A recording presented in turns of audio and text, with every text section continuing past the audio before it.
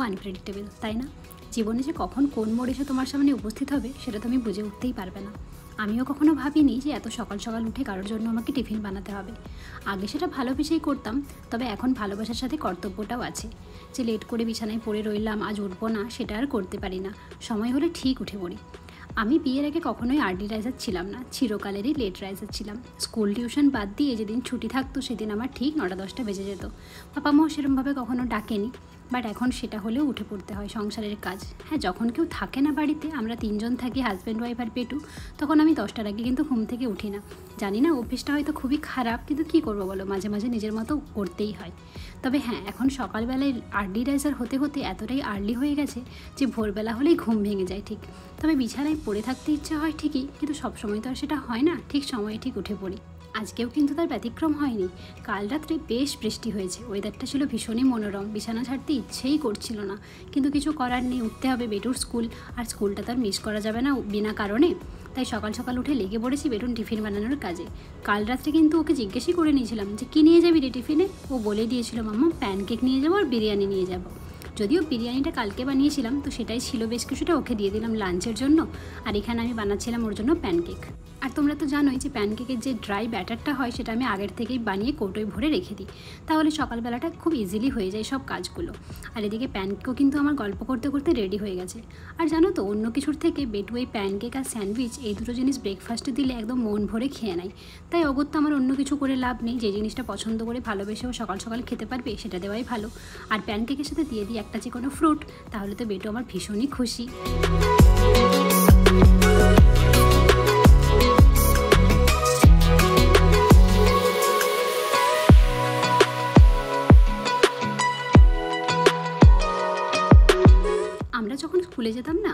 টিফিনের এত বাহার ছিল না। সকালবেলায় উঠে ফ্যান ভাত খেয়ে বেরিয়ে পড়তাম। মা টিফিন কোটোয় ভরে শুকনো মুড়ি দিয়ে দিত। কোনো দিন যদি পেঁয়াজি, চপ কিছু হতো বাড়িতে সেটা দিয়ে দিত। আর না হলে দু টাকা করে পকেট মানি ছিল। দিয়ে দিত, বলতো স্কুলের দোকানে ওখানে ঘুগনি কিনে খেয়ে নেবে। আমাদের স্কুলের একটা দোকান বসতো। সেখানেই স্কুলের ভেতরেই বসতো। তো সেই ঘুগনি আমাদের ভীষণ পছন্দ ছিল। ওই দু টাকা দিয়ে চলে যেতাম কাকুর কাছে, ঘুগনি নিয়ে মুড়ি মাখিয়ে খেয়ে নিতাম। সে যে কী তৃপ্তি করে আনন্দ করে খেতাম না, তার আনন্দটাই আলাদা। তবে এখনকার বাচ্চাদের জন্য ভ্যারাইটিস টিফিন না বানালে তারা আবার মুখেও দেবে না খাবেও না। যদিও আমার ছেলেটাকে ওরকম বললে দোষ হবে, ওকে আমি যাই দিই, ও খেয়ে নেয়। আজকাল দেখছি ওর খুব গোবিন্দভোগ চালে ভাত খেতে পছন্দ হচ্ছে। তো সেটাই শুধু ঘি মাখিয়ে সেদ্ধ করে দিয়ে দিই ও সেটাই খুব খুশি মনে খেয়ে নেয়। এদিকে বলতে হবে, খাওয়া দাওয়াতে আমার ছেলে কিন্তু কোনো জ্বালা নেই। টাচুট বলব না, বেশি প্রশংসা করব না। তো যাই হোক, ওর টিফিনটা রেডি করে দিয়ে ওর এবার ওর বাবার জন্য খাবার বন্দোবস্ত করছি।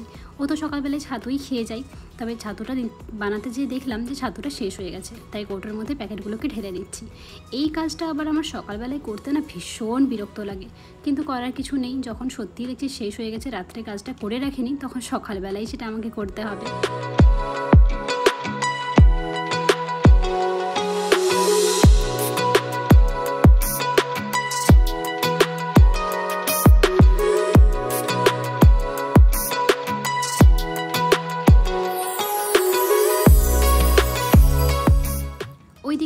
টিফিন খাওয়া দাওয়া সব রেডি করে দিয়ে এবার হচ্ছে আসল কাজ, কষ্টের কাজ যেটা বেটুকে ঘুম থেকে তোলা, সে তো কিছুতেই উঠবে না। আসলে ও আমার সাথে না অনেকটা লেট করে রাত্রিবেলায় ঘুমোয়, তাই সকালে ওঠাটা ওর জন্য খুব চাপের হয়ে যায়।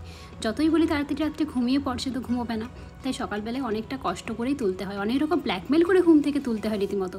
যে স্কুলে যাও, না হলে তাড়াতাড়ি না গেলে সিট পাবে না, বন্ধুর পাশে বসতে পাবে না। তাই অনেক কষ্ট করে ঘুম থেকে তুলে ব্রাশ করিয়ে রেডি করে দিই। আর সকালবেলায় তো ছেলে আমার কিচ্ছু খেয়ে যাবে না। আর ঘুম যেন চোখ থেকে যাচ্ছেই না, বেচারার দেখো।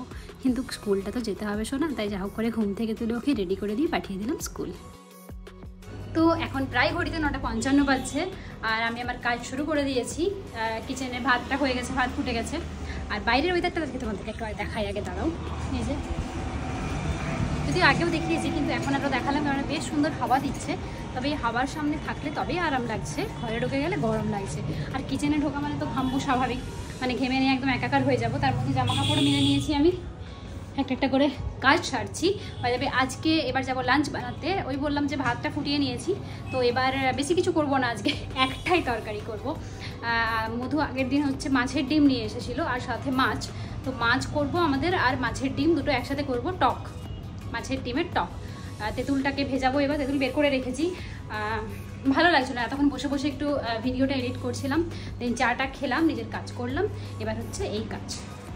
যে তেঁতুল একটু ভিজিয়ে দিই।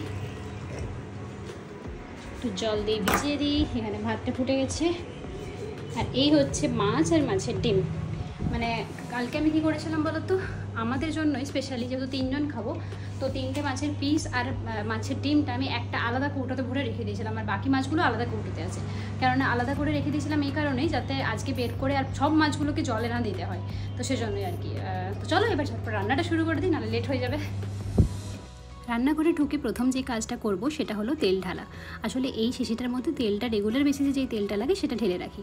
আর একটা বড় জারের মধ্যে সারা মানে অনেকখানি তেল রাখা থাকে। তো সেই জন্য ওখান থেকে এখানে ঢালতে হবে। আর এই যে তেলটা রেগুলার বেসিসে কাঁচা শিশিতে ইউজ করি, ওটা হচ্ছে পেঁয়াজ হাতে, সগড়ি হাতে, আমাদের বাঙালির যেটা মানা হয় আর কি, সগড়ি, নিরামিষ এটা মেনে করা হয়।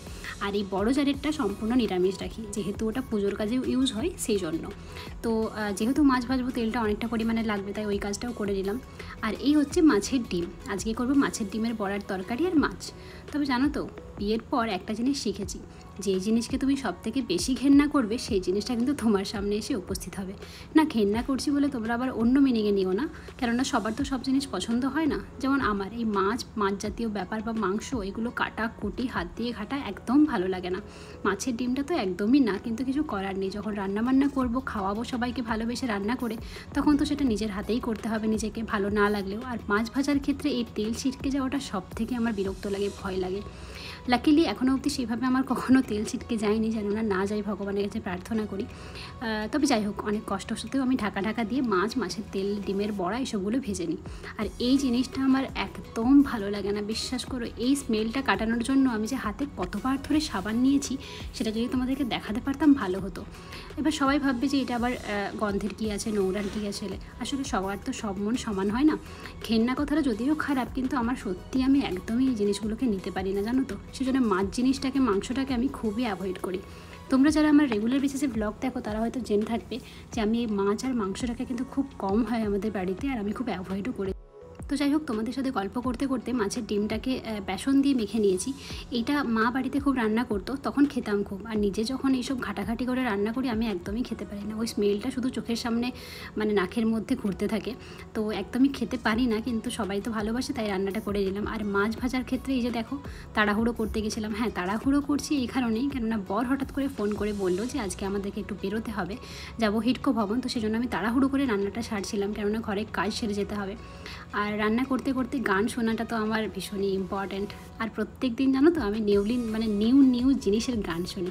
মানে কখনো ভীষণ পুরনো, কখনো নতুন, কখনো মাঝারি এক এক দিনের এক এক রকম মাইন্ড আমার যেমন চাই সেরকম গান শুনি। সেটা হয়তো আমার প্রতিবেশীটা সব থেকে ভালো জানবে, কেননা ফুল সাউন্ডে গান চালিয়ে আমি কিচেনে রান্না বান্না করি। আর এই গান শুনতে শুনতে রান্না করতে করতে আমার মোটামুটি বড়া ভাজা, মাছ ভাজা সবই হয়ে গেছে। আস্তে আস্তে রান্নাটাও কমপ্লিট করে নিচ্ছিলাম। কেননা হুট করে বাইরে বেরোনোর প্ল্যান হলে না অনেক কিছু গুছিয়ে বাগিয়ে যেতে হয়। হুট করে তো আমরা বেরিয়ে পড়তে পারি না, তাই না? তো ঘড়িতে এখন বাজে একটা কুড়ি। আমার লাঞ্চ হয়ে গেছে স্নান করে। আর আমি এখন রেডি হয়ে গেছি কেননা একটু বেরোবো। এখানে মধু তাড়াতাড়ি খাচ্ছে, ঝটপট। খাচ্ছে না, গিয়েছে। তো রেডি হয়ে গেছি কেননা একটু যাব বাইরে। হিটকো ভবন কোনো কাজে, ঘুরতে নয়। গরমে পুরো ঘামে ভিজে যাচ্ছি। আর যেখানে যাওয়ার কথা, না, একটা নাম্বার ফোন করছে। কি ঘোষ। তো যাই হোক রেডি হয়ে গেছি, এবার ঝটপট বেরোবো। অনেক লেট হয়ে যায় তার মধ্যে বেটুও চলে আসবে, তো তার আগে কাজটা ছেড়ে চলে আসতে হবে। চলো। লাস্ট মোমেন্টে আমার বর এত তাড়াতাড়ি না, আমি বিরক্ত হয়ে যাই। আগের থেকে আমি বুঝতে পারি রেডি হয়ে বেরোবো তা নয়। সব কাজ ছেড়ে তো বেরোতে হবে। চলো এখন নিয়ে যাই।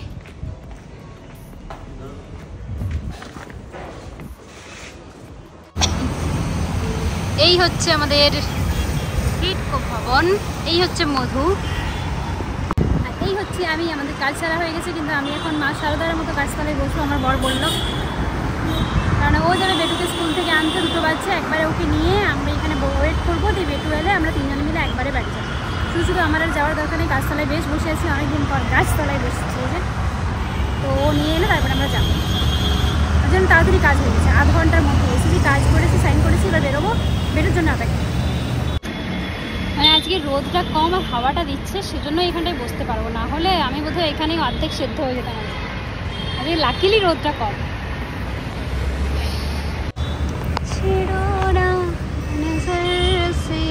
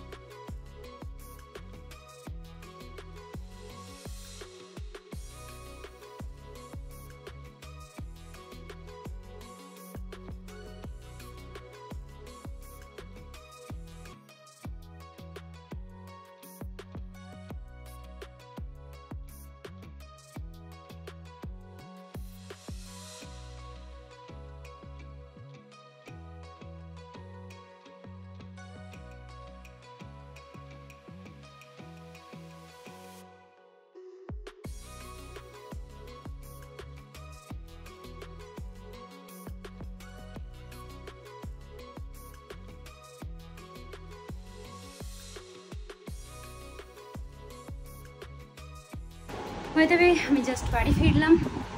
প্ল্যান তো ছিল ওইখানে গাছতলায় ওয়েট করার, কিন্তু মধু বলল অনেকক্ষণ ওয়েট করতে হবে, এখন দুটো কুড়ি বাজছে। মানে বেটুর স্কুল এখনও ছুটি হবে না, তাহলে আমাকে অনেকক্ষণ বসে থাকতে হতো। ও বলল, তুমি বাড়ি চলে যাও। আর ও আমাকে হচ্ছে কতটা ছেড়ে দিয়ে গেল জানো? তোমার সেন্টার পর্যন্ত ছেড়ে দিয়ে গেলো, বাকিটা আমি এই রোদের মধ্যে হেঁটে হেঁটে এলাম। প্ল্যান ছিল না যে হেঁটে হেঁটে আসব, তাহলে একটা ছাতা, চশমা তো কিছু তো নিয়ে যেতাম। হয় তবে আজকে আমি রিয়েলাইজ করলাম যে গাছের ছায়া কতটা আরাম দিতে পারে। মানে রোদের মধ্যে থেকে এসে যখন যতটা গাছের ছায়ার নিচে আসছিলাম না ঘিজে শান্তি পাচ্ছিলাম, কি বলব তোমাদের। তো যাই হোক, আপাতত আমি খেয়ে এনে স্নান হয়ে গেছি পুরো। তার মধ্যে আমি রাস্তার থেকে গাছ থেকে কটা ফুল তুলে এনেছি, দেখাচ্ছি।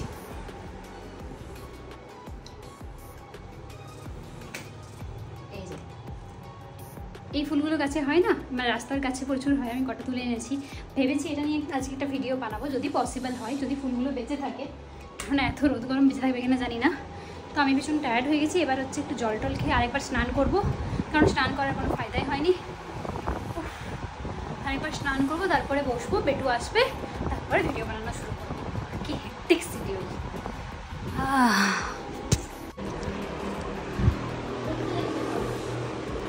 তো হে এভরিওয়ান এখন ঘড়িতে বাজে দশটা কুড়ি। সেই দুপুরের পর এখন আবার ব্লগটাকে এন্ড করার জন্য কন্টিনিউ করছি। কেননা ভীষণ টায়ার্ড হয়ে গেছিলাম, দুপুরে ব্লগ বানাচ্ছিলাম, তারপরে পড়ানো অনেক কাজ। তো এখন বসেছি ডিনার করতে। ডিনারে কিচ্ছু করিনি। বিশ্বাস করে, দুপুরে ভাত ছিল। বাবা সাধনদা যেহেতু এসে সাধনদার ভাতটা দুপুরে করে রেখেছিলাম, কিন্তু সাধনদা খাবে না বলল। অনেকটা ভাত ছিল, সেই ভাত আর শুধু কাঁচা পোস্ত বেটেছি, পেঁয়াজ দিয়ে। তো এটাই খাব, কারণ মারাত্মক গরম, কিছু করতে ইচ্ছে হচ্ছে না। এই যে দুধ, ভাত আর হচ্ছে কাঁচা পোস্ত। তো খেয়ে নি, চলো। আর আজকের মতো ব্লগটাকে এখানেই এন্ড করছি। দেখা হচ্ছে নতুন একটা ব্লগে till subscribe to my channel heavenly friendship tata